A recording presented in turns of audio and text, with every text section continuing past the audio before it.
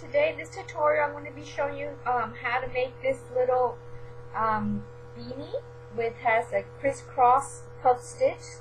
So there's a lot of um, tutorials on the beanie with the puff stitch but this one is a little bit different. Let me see I don't know if you can see it here but the beanie the puff stitches there actually crisscross. And then we finish it off with a little trim here a little piece there. So, I hope that you will enjoy this video and let's get started. Hello everyone, to begin our crisscross puff beanie, we're going to begin with the magic circle. If you don't want to do this, you could also um, chain four and then slip stitch into your first uh, chain to make your little circle. But here, I'm going to do the magic circle. I get the short end, uh, put it on my left hand, make a loop, and then I just put my yarn here to the back. Now here I'm going to stick in my hook while I'm still holding the yarn with my left hand, and then I'm going to do a single crochet there. To begin it, when you first start doing it, you might want to hold this to keep it from moving around. Now I'm going to chain two. One, two. Now, I'm going to do 12 double crochets in the middle. Remember our double crochet, we wrap our yarn around our hook, go into the middle, pull out our chain. There will be three strands of yarn on the hook. We're going to pull through two, which leaves two, and then we're going to pull through our next two. So that's our double crochet. One more time, wrap it in there, there'll be three loops, pull through two and then two more. This is getting kind of big so I'm going to close it a little bit. Just don't close it all the way. So I want you to do that till you have 12 double crochets in your middle. Okay, so now here I have uh, my 12 double crochets. Now you're going to get your little tail here and you're going to pull it tight and it's going to close that circle. Now I can go here into my second chain, one, two, and slip stitch and that's going to be our first round or our first um, row here okay? This is what I call round. To go to my next row I'm going to chain two. One two and then on this chain here this is the next one there I'm going to make two double crochets. So there's an increase in each chain. To do the double crochet remember I wrap my yarn around my hook go into my chain pull it out. There'll be three loops of yarn on my thread there. I put two and then two. That's my double crochet. And then I'm going to make one more because I want two double crochets in there or an increase, what we call an increase in each chain. This is my second chain. and I'm going to do the same thing. So do that all the way around and you should have a total, total of 24 of these uh, chains plus the little post. I have done 24 of my double crochets, not including this little post.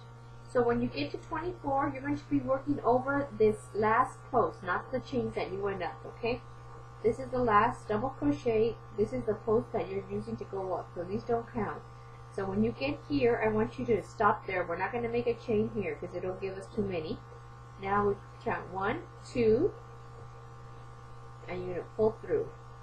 I know that it looks like there's a little space there, but don't worry, that's going to become not going to be noticeable. Now, this is one more row of uh, one more row of increases.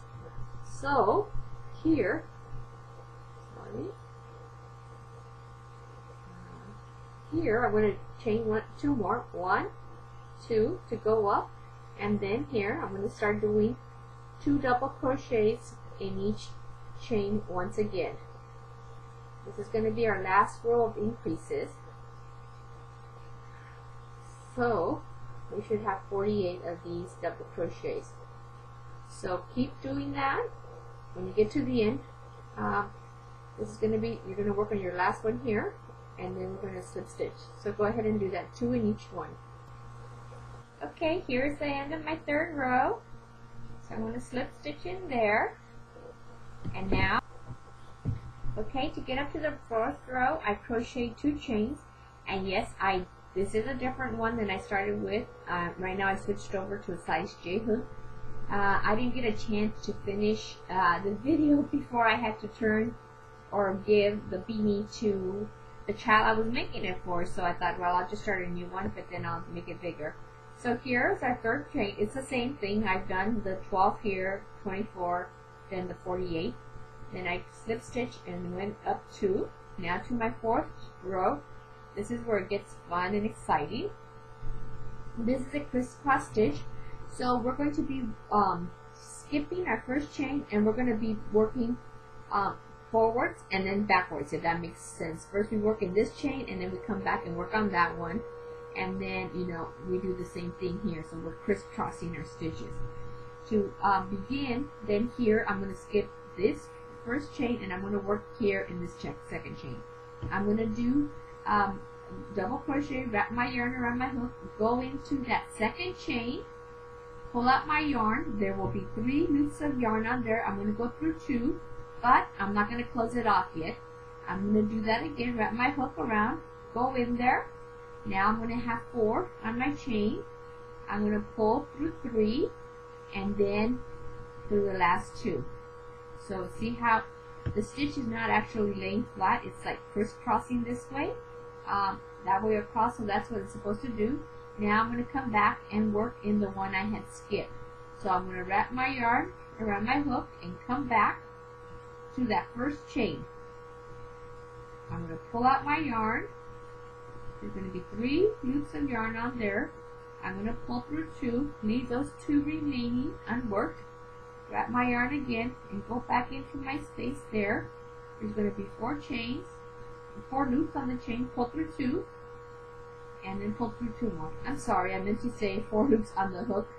And so now we have made our first crisscross stitch. It's hard to tell here because of the lighting, but my first stitch went this way, then the second one went the, you know, like this and this. So now here we worked this stitch, so now we're going to skip the next stitch and work in the one after that. We're going to continue working these crisscross two um, stitches all the way around. So here, once again, let me show you how it's done. I'm going to skip this one and work on the second one. Wrap my uh, yarn around my hook, go into my second chain, pull out my yarn. There's three loops of yarn on my hook. Pull through two and leave those two unworked. Wrap my hook again, Go into that space once again. Now there's four loops on the hook. Work through three. Now there's two remaining. And now we work through the last two. Now we're going to do the same stitch in the back one here. So we're going to work backwards. We're going to work in the one we skipped. Wrap our yarn around our hook. Go into that one we skipped. There's two, excuse me, three loops of yarn on your hook. Work through two these two ones that worked. And see here, you can kind of see how it's working backwards here. Now put it, yarn in there again. There's four loops. Go through three, and then through the last two. Okay, so we're going to repeat this all the way around. And you're going to start seeing that our loops are crisscrossing. I don't know if you could see it that good there, but one's going this way, then this way, then this way. Okay, so do that all the way around by skipping your next chain, holding through two, leaving those two work unworked. Now there's four, pull to three, then to the last two, repeat in your next stitch. First three, and then a second two. So there's our process. Go ahead and work around and then I'll meet you at the end. Okay, I have now reached row 11. So my first three rows were double crochets, one, two, three, and then here from row 4 to 11, 4, 5, 6, 7, 8, 9, 10, 11. I have been doing my crisscross puff stitches and I slip stitched into the second chain here where we've been attaching to go up Remember I told you the row that had the two little stitches, that's going to go on the back part of your head, so that's on the center back, the center part of the back of the beanie. And now here, to go up to my next stitch, I'm going to crochet one chain. here then I'm just going to do one single crochet in each chain all the way around so we're just going to do one single crochet in every chain all the way around. Okay? And we're going to do this for rows um, 12 I didn't mean for row for this after row 11 here we're going to do for row 12 and row 13 so two rows of one single crochet. So I want you to go ahead and do two rows of single crochet all the way around when you finish this one row single crochet then you're going to slip stitch here into our first chain chain one and then continue doing one chain one single crochet in each chain across. Okay here I did my single crochet I'm at the end so here on my first chain. That is, that is where you would slip stitch. Okay. And then you chain one to go up and then once again do a second row of single crochet all the way around this would be our second row here Okay, here is what it looks like. I hope you could see how your little puffs are crisscrossing there.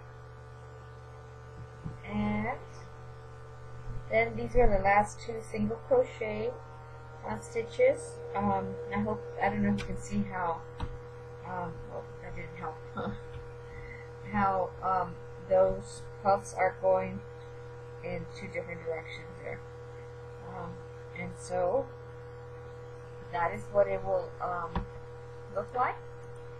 And if you want you don't have to do the last two rows. I just think it looks kind of neat. You can do them just in a double crochet or just do it this way. But let me see if back is just really it is